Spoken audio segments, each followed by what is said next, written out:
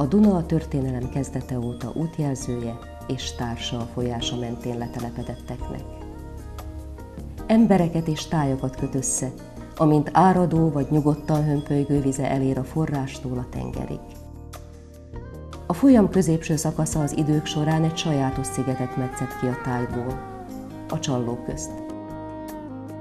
Ennek a 100 km hosszú és 35 km széles területnek a legnyugatibb pontja Pozsony püspöki, Podunajszké Biszkupice. Ma Szlovákia fővárosának legnagyobb városrésze és az egyik leggyorsabban fejlődő területe. A hajdani püspöki mezőváros központja a Szent Háromság tér. Ennek mentén található a település múltjának legtöbb megőrzött emléke. Itt van a több mint 20 ezer lakosú városrészt irányító városi hivatal is, mely az 1900-as évek elején épült, és azóta is betölti szerepét. 1989 után az első nyolc év a vállalkozások kialakítása és beindítása, a következő nyolc év pedig a nagy építkezések jegyében telt. Napjainkban is itt születnek a városrész továbbfejlesztési tervei, de a jelenlegi polgármester, dr. Oswald Erzsébet, mindenek előtt a városrész otthonossá tételére törekszik.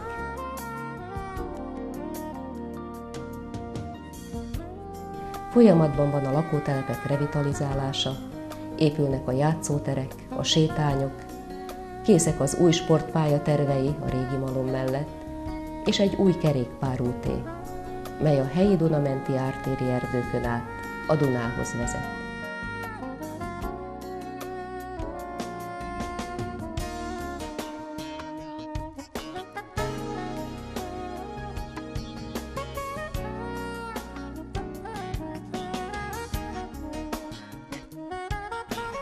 Oldalág, mely ráköt a nemzetközi vérkeringésre.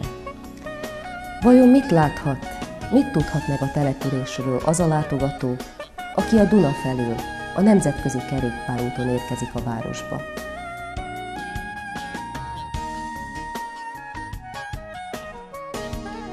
A múlt leghívebb őrzője, a földmélye, a kövek és a régi építmények. Ezeknek köszönhetően tudjuk, hogy vidékünk már időszámításunk előtt is lakott volt.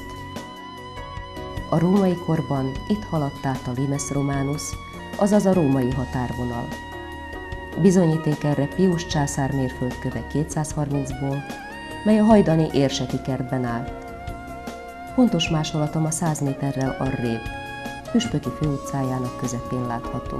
A mérföldkő felirata bizonyítja, hogy kereskedők, utazók és a birodalom határvidékét őrző, fels alávonuló római légiók, őrjáró különítmények, hosszú útra indult magánosok irányítója, kalauza volt. Mutatva nekik az útirányt, a célul tűzött város, Pannonia egyik legnevezetesebb központja, Karnontún felé. Mindezt a város szülötte. A neves történész Püspöki Nagy Péter terjedelmes könyvben foglalta össze. Tőle tudhatjuk meg azt is, hogy itt egy municípium, azaz egy helybeliek által lakott, de római polgárjogú városka állt. Ennek emlékét őrzi a Szent Miklós plébánia templom hajó és szentélypadlását elválasztó falán talált töredékes latin felirat is.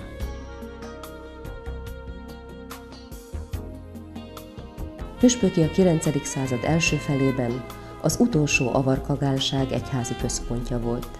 Ehelyen már 836-ban keresztény avar templom állt. Annó püspök székhelyeként ugyanis itt volt a vetvári független önkormányzattal bíró tartomány. Az egykori tartomány nevére ma a Vetvár Művelődési Ház neve emlékeztet.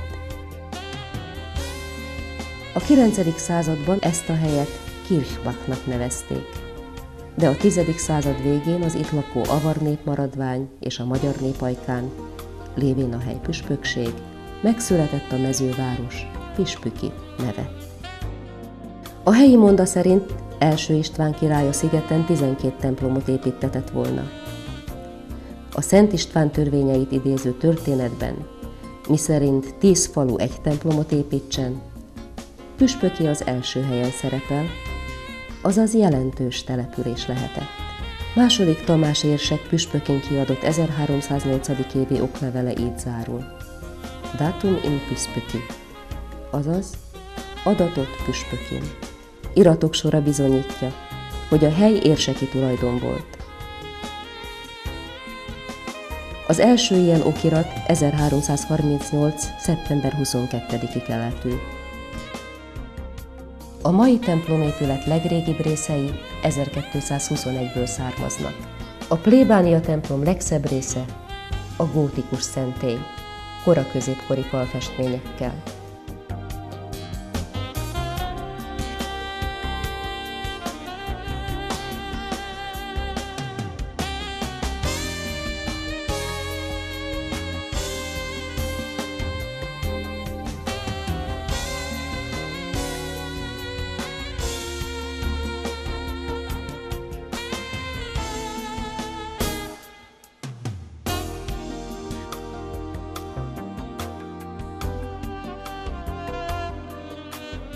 A koragótikus kőportálé is eredeti állapotában maradt rá.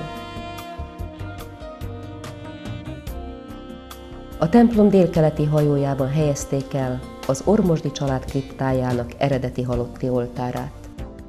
Az oltár fölött egyetlen darab fekete márványkőből faragott értékes kereszt van, rajta fekete bronzfeszület.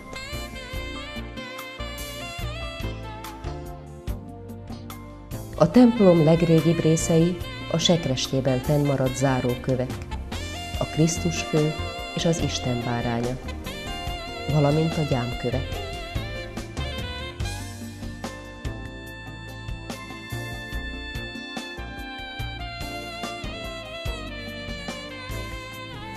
A hajó a 15. században nyerte el mai formáját.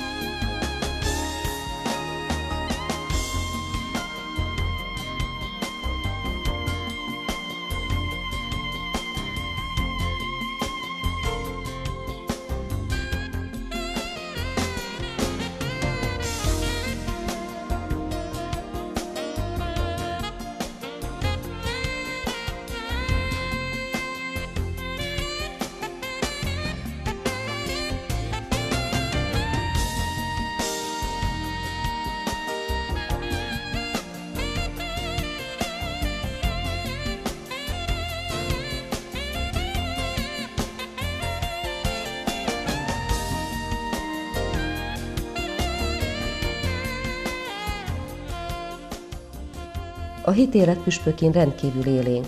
A fiatal generáció is bekapcsolódik például a nemzetközi részvételű jótékonysági rendezvényekbe, és megtalálja a módját, hogy adománygyűjtéssel segítsen a rászorulókon. A plébánia templomon kívül püspökin még két további templom van.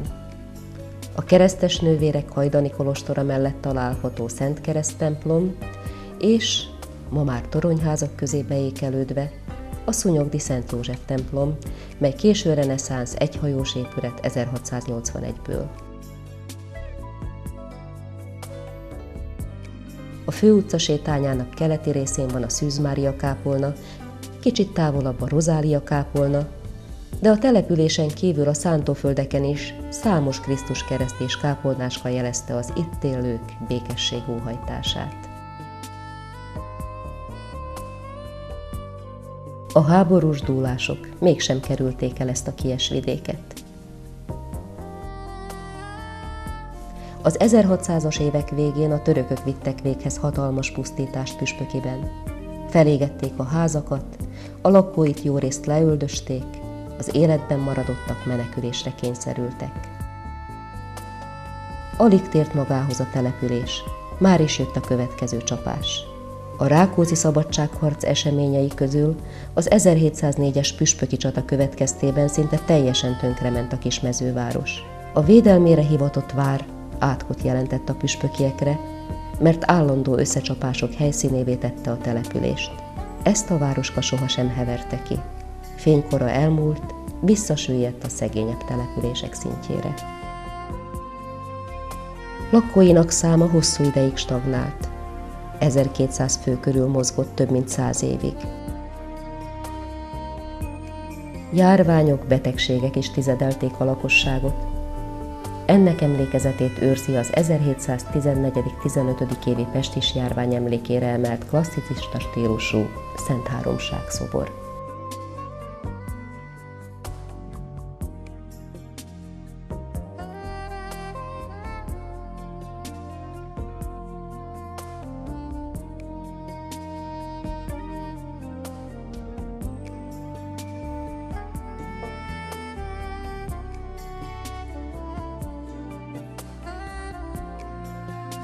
Fejlődés ismét a 18. század közepétől tapasztalható. Ennek jele volt az is, hogy ekkorra már egy gyönyörű barokk kastély díszítette a mezőváros főutcáját, ami rangot adott a településnek. És ahogy illik, nagy gyorsaságban a kastély mellett kúriák és takarosabb porták is épültek. Ez időben fejezték be a Magyarósi kastélyt is, amit Battyányi József bíboros építetett nyári rezidencia céljára. Voltak benne tánctermek, reprezentációs termek, a falakat kínai festmények díszítették, és a püspökiek tudni vélik, hogy Mária Terézia is ellátogatott ide. Ma az épület tatarozásra vár. A bottyányiak által épített, később az ormosdiak, majd a Draskovics család tulajdonát képező főutcai kastély a szocialista országépítés áldozata lett. 1958-ban lebontották, helyén 1961-ben nyitották meg a mai Biszkupická utcai alapiskolát. És ha már itt vagyunk, nézzünk is be ide. A lakótelepi két másik általános iskola ugyan nagyobb ennél, de a Biszkupická utcai sajátos multikulturális iskolai program szerint működik. S fiatal, dinamikus oktatógárdája megteremtette a feltételeit annak, hogy mozgáskorlátozott gyermekek is látogathassák az intézményt. 1995 óta iskolai pszichológus segíti a tanulókat személyes problémáik megoldásában, de ő irányítja őket a személyre szabott pályaválasztás felé is. A hatodik életévüket betöltött, de még nem iskola köteles gyermekek számára nulladik osztályban biztosítják az oktatást. A nagy sportpálya, a szép park környezetkíméletre nevel. De ezt a magatartást tudatosan is belenevelik a pedagógusok a gyerekekbe. A gyermekzsivaj után Albert György kúriája felé vesszük az irányt, mely szintén a 18. században épült fel, és utolsó tulajdonosai után ma Linzbót kastélynak hívják. A kúriában a Kereskedelmi Múzeum gyűjteménye található. Ne szalasszuk el, érdemes itt körülnézni.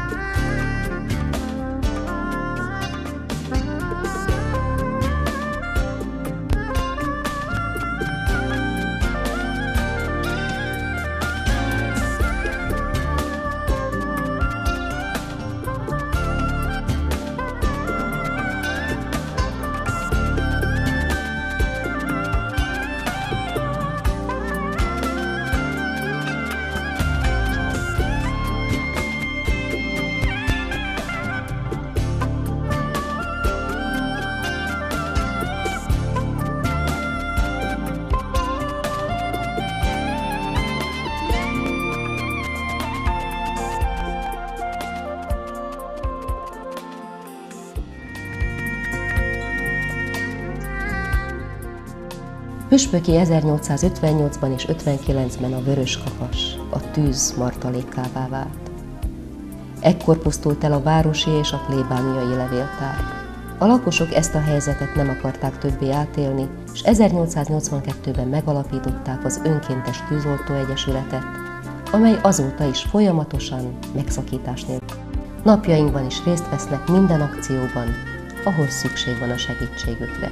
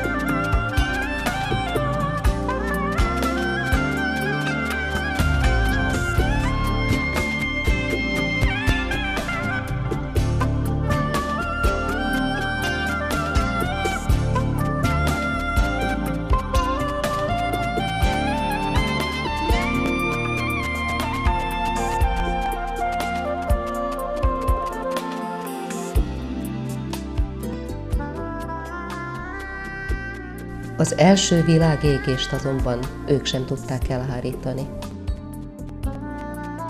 Az 1914-ben kitört világháborúban 99 püspöki katona vesztette életét. A második világháború mérlege még ennél is szomorú. A csehszlovák hadseregben szolgáló katonákon kívül a civil lakosok közül is sokan életüket vesztették. A zsidó lakosokat deportálták, ezután pedig a magyar és a német lakosok kitelepítése következett.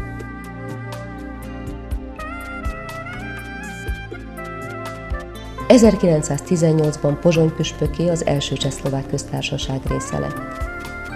Ekkor Kiszucáról, Árvából és Szlovákia más tájairól érkeztek telepesek. 1945 után Jugoszláviából, Romániából, Bulgáriából, 1947-ben Magyarországról betelepített szlovákokkal bővült a város összetétele. 1972. január 1-én a mezővárost a fővároshoz csatolták.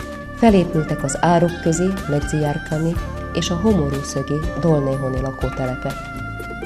Az eredeti három és fél ezres kisváros több mint 22 ezer fős város részé növekedett. Lakosai ma nagy többségükben szlovák nemzetiségűek. A magyar nemzetiségűek aránya 15,5 százalék, de élnek itt kisebb arányban roma, cseh, német és más nemzetiségű lakosok is. Püspöki rákapcsolódott tehát Pozsony vérkeringésére, a városi közlekedésre, része és részese a főváros infrastruktúrájának. Nagyobbak a munka, sport és kulturális lehetőségek, de nagyobbak a rájuk váró feladatok is. Persze megoldják, hiszen oktatási intézmények egész hálózata épült ki a városrészben. Négy általános iskolában, két gimnáziumban és két szakközépiskolában tanulhat itt a jövő nemzedéke. Bár iskolája püspökének több mint 410 éve van, hiszen a templom mellett állt iskolát egy 1598-ból származó okirat már mint létező intézményt említi. Ezen a helyen működik napjainkban a városrész egyetlen magyar tanítási nyelvű alapiskolája.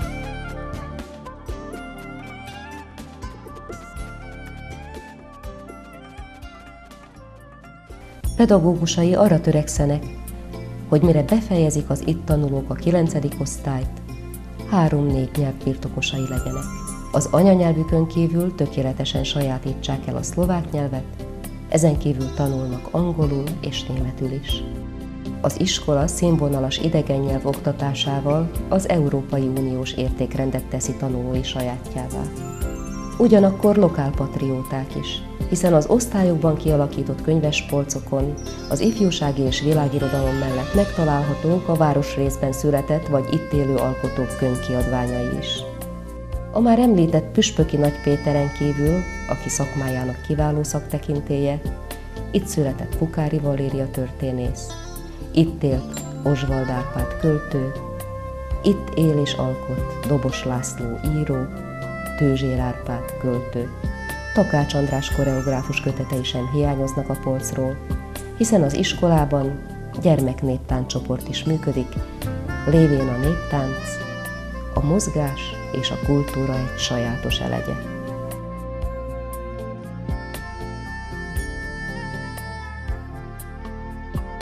Nagy József festőművész minden előde püspökinél. A művész is itt él és alkot.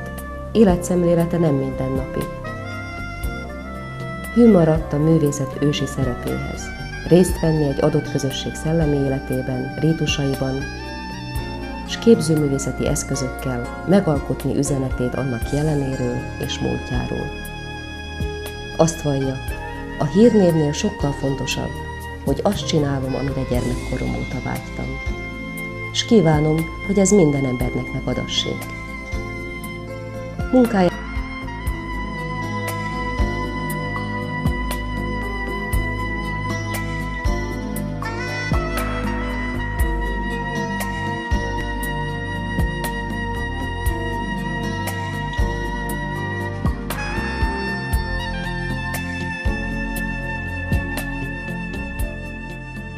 Ában nem különbözteti meg a kis és nagy feladatokat. Szabad alkotásaink kívül püspökén és más templomokban belső berendezések, oltárképek születtek elképzelései nyomán, nagyméretű textileket sző, és számos kiadatlan elméleti munkája vár még megjelenésre.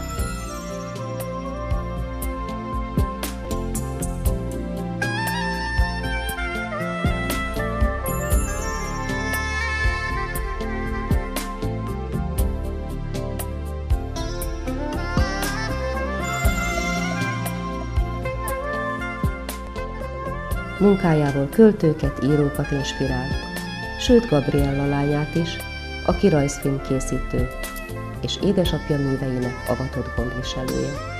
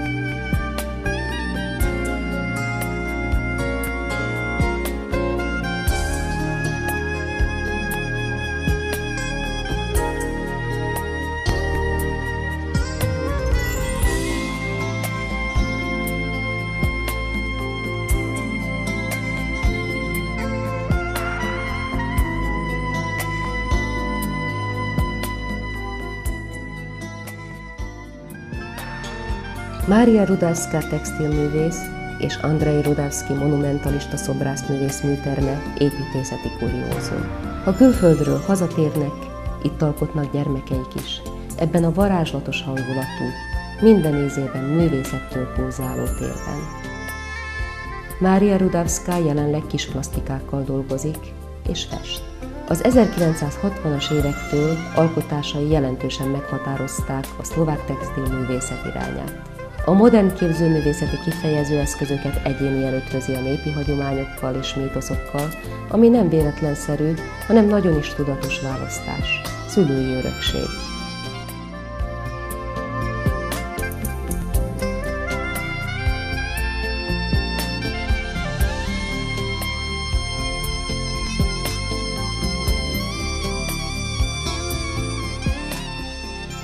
Andrei Rudavsky szobrász, festőművész, grafikus és monumentalista, azaz rendkívül sokoldalú alkotó. Akár kővel, fával, akár fémekkel dolgozik, minden területen jelentős művekkel gazdagítja a hazai és a világ nagyvárosainak tereit. Festményei élénk kontrasztjaikkal keltenek figyelmet. Művei kaput nyitnak a formák, színek és vonalak világába. A püspökiek persze rendkívül büszkék, hogy több mint fél évszázada városrészükben él és alkot a kortárs szlovák szobrászművészet legjelentősebb alakja.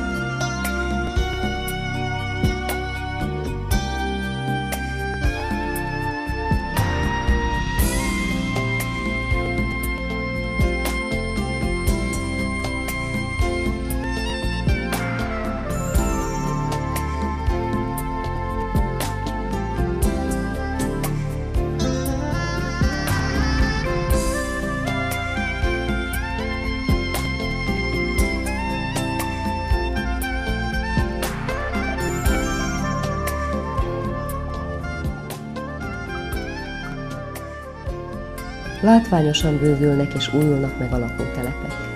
A dinamikus fejlődés garanciája a gyermek. Okunk van a bizakodásra, amíg életünket gyermek zsivaj kíséri. Pozsonypüspöki élő és élhető városrész. Egyelőre nem nyomasztja a munkanélküliség, 1680 bejegyzett magánvállalkozója van, de a környék nagy üzemei is biztosítanak munkalehetőséget.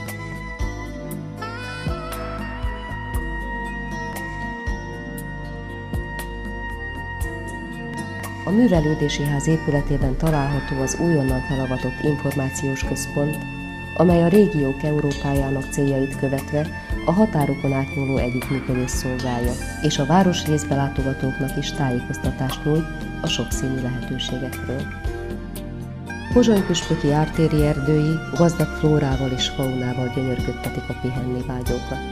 Számos európai növényritkaság és védett állatfaj növeli értéküket. Erre vezet a turistaút és a nemzetközi Dunai útvonalhoz kapcsolódó kerékpárút, amely egyenesen püspöki szívébe viszi majd a látogatókat.